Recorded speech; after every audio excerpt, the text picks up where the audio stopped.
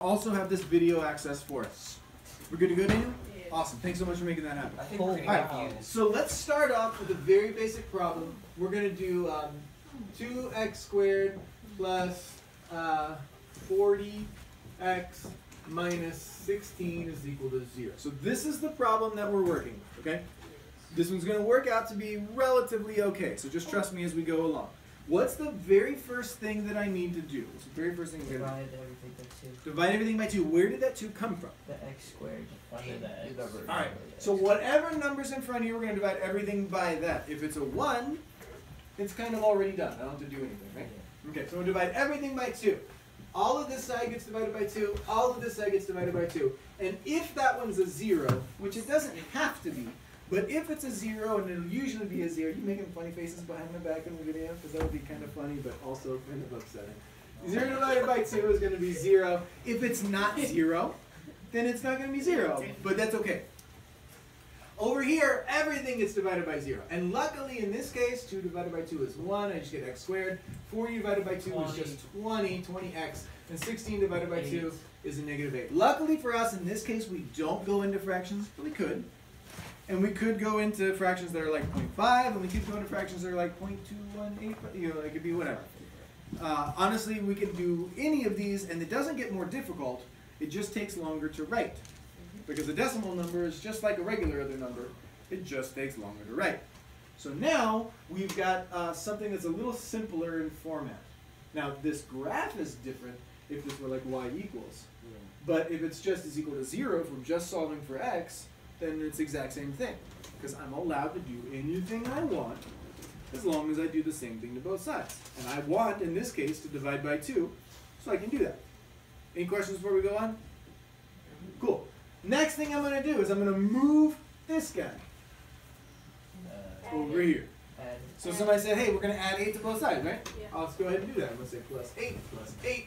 Wonderful. So now this cancels out. It goes down to 0. I'm not going to write 0, though, and you'll see why in just a second. I got x squared plus 20x.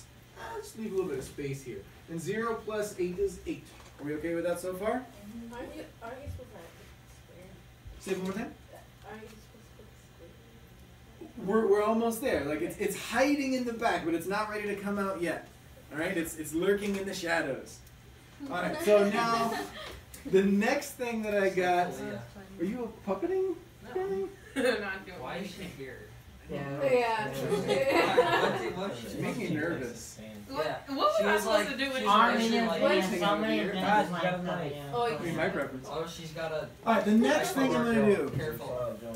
I'm gonna take half of some number. I'm gonna square that number. What number am I working with here? Uh, 10. Oh, well, 20. Then you, half of that is You, you got it, and you're ahead of me, which is cool. 10 So he times said, 10 hey, is let's take 20, positive 20, because it's positive here. We take 20, we take half of it, so we're at 10. And then we're going to square that number, right? That's the one that we're squaring. So 10 squared is Uh, hundred. 100. Cool. All right, so now I'm thinking of 100. I got 100. What do I do with 100? You. Add uh, both sides. Yeah, add both sides. Add both sides. I can do anything I want as long as I do the same thing to both sides. So that means that I can add 100 to both sides as long as I do it to both. That's, that's fine. So I just did that. Yay! Wait, why did we add hundred? Why did we add hundred again? We took 20, we took half of it, which was 10, and then we squared that number. 10 times 10 will give me 100. This number that I'm adding here to both sides will always be positive. And it's always positive because I just squared it. So if it was negative, negative times negative is positive. If it was positive, positive times positive is positive. So it doesn't matter which way you do it, it's always going to work out. Unless. Unless we're doing complex numbers, but it would still work, but not in this case. So we're looking for real solutions. Yeah, real solutions. On this side, I've got 8 plus 100, which is 108. 108. Wonderful. And on this side, oh, this is that squared that was lurking there the whole time. It's something squared. And I know it's something squared because we just turned it into that. Okay? That's why we picked this number. We took half of this one and squared it because that turns this into X plus ten. x plus 10. And this number that I'm thinking is half of this number. This number is half of this number. So now I've got x plus 10. Also worth mentioning, if this were negative, then this one would be negative. That's helpful. It's got to match. Uh, could you repeat what? Okay, so you said like the reason why it's just x plus 10 because apparently it's half of 20 as well. It's pretty much. Yep. And here, I, I, I'm going to work backwards to get here. If I did x plus 10 squared, that's going to be x plus 10 times x plus 10. I'm going to FOIL this out. So that's first, outside, inside, last. I get x squared plus 10x plus another 10x plus 100. Those make 20x. And if you'll notice, x squared plus 20x plus 100 is x squared plus 20x plus 100. It's the exact same thing we have. It's tough, it's tough. Ten points. It's a good thing it wasn't some of that other stuff. Should've Alright, so now I'm here. And we are now faced with a problem like we were just working on where I'm saying, hey, this thing squared is this number. And that leads me to believe that there are two possible answers. One of them is positive, one of them is negative, right? Because the positive number times itself is that that's great, and the negative times itself comes out to also be that number. So now I'm going to say that x plus 10, I'm essentially taking the square root of both sides. It's the square root of 108, but there's two potential answers. There's the positive version and the negative version, so that's where I get that plus or minus 108. And then as a question for you, the square root of 108, is that a nice easy number that I should have filed away? You know what? Yes. Probably. No. Some people say yes, some people say no. No. What 10 squared? 100. 100. What's 11 squared? Oh, you're 121. right. So it's between 100 and 121, which means the answer is going to be between and 10 and 11. And it's just 10 point stuff. So this is 10 point stuff, but it's not going to work out nicely. So we don't have to go any further with that. Let's just leave it there. We could maybe reduce it, but that's about it. How would you get it to like work out nicely? How would I get this to work out nicely? Let's just say, hey, uh, what if the problem were the square root of 25? And you'd be like, oh, hey, cool, that's Oh. 5, right? Sometimes it will work out nicely. And so whenever we're looking at plus or minus the square root of 25, you'd have plus or minus 5. And if you wanted to later on, you could do two different problems. Let's do the plus and let's do the minus. But we can stretch it out from there. But this case, it doesn't. This one is just 10 point, and it goes on literally forever. It never stops. It's a decimal number, it goes forever. So our final answer would pretty much be x equals negative 10 plus or minus uh, the square root of 108. How'd you get that? How'd you go from here to what you said? Uh, well, you said you told us before we had to like pretty much like put it at both sides negative 10 because there's a positive 10. All right, and we try and we're trying to get x by itself. So yeah, so in the end it would have to be negative 10 plus plus or minus uh, 108. Yeah, because we've got x minus 10. I only want x, so I'm just going to subtract 10 from this side. I'll subtract 10 over here. I'll do a little switcheroo, and it's still okay. So x is equal to negative 10 plus or minus the square root of 108. And that is the number we're looking for. We just completed the square, and we worked it all the way to the absolute end of the problem. Do you have any questions? Uh, yes. Yep. I know I keep asking questions, but That's okay. Uh, let's see. So you explained to us backwards on how we on how x to plus ten to the second power would pretty much equal into you know the an- the answer from above. Yep. But how, like, but you could could you because Here to here?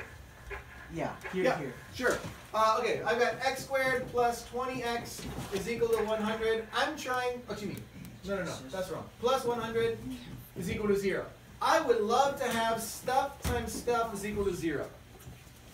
Okay. That'd be nice because there's this thing called the zero product property. Zero, you know. Product means the answer to a multiplication problem, right? Okay. So the zero product property says if I have a thing times a thing is equal to zero, then either this one is zero, or this one is zero, or maybe they're both zero. But I can't have something that's not zero times something that's not zero equals zero. So give me two numbers that aren't zero that you multiply One together to be zero. One Oh, times wait, two? no, nope, that's no. Uh, not how zero. about ten? Let's One and see. zero. Oh wait, not Uh, zero. let's see. Fifty and twenty-five. Five and and four. 25, multiply them together, still not zero. Five and four, you multiply them together, still not zero. Uh, So what I'm saying is if you have two numbers, you multiply them together and the answer is zero, I know I can backtrack. One or both of those have to be zero. Otherwise, you did something wrong, Yeah. right? Otherwise, you had some magic, some magic uh, multiplication that you used. So if I could go from here to here, that would be awesome. And that's actually what we're doing. here. So I'm gonna say, hey, there's two numbers that multiply together to be a hundred, and I've got a list of numbers that multiply to be a hundred. Watch me list them real quick. One and a hundred, negative one, and negative one hundred. Two and fifty, negative two and negative fifty. Uh, four and twenty-five, negative four and negative twenty-five. Five and twenty, negative 5, and negative 20. Uh, 6 doesn't work, 7 doesn't work, 8 doesn't work, 9 doesn't work, 10 works though. 10 times 10 and negative 10 times negative 10. And if you'll notice, these numbers go up 1, 2, 4, 5, 10. These numbers go down 150, 25, 20, 10. And whenever they meet in the middle, I know that I've got all of my possible combinations here. Permutations, technically, since order sort of matters, but whatever. Uh, who wants to be so picky, right? So two numbers that multiply together to be 100, those are the only possibilities in the world. I just listed all of them.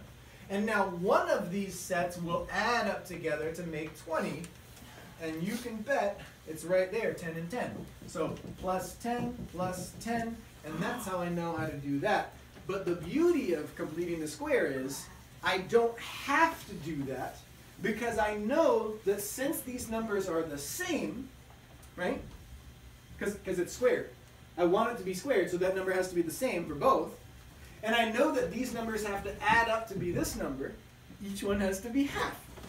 So I'm actually taking a little bit of a shortcut there because it's squared. And this oh. method works if they're not squared, but because it's squared, I can do a little shortcut and say I only need to do half of That that. all makes sense. Wow. I didn't- So we just did one. I want to take an opportunity for you to try one with my guidance but not help. Is that cool? So get out some sort of piece of paper. We can kill the video now. Thank you so much for making that happen. Thanks, Daniel. So No Daniel's problem, gonna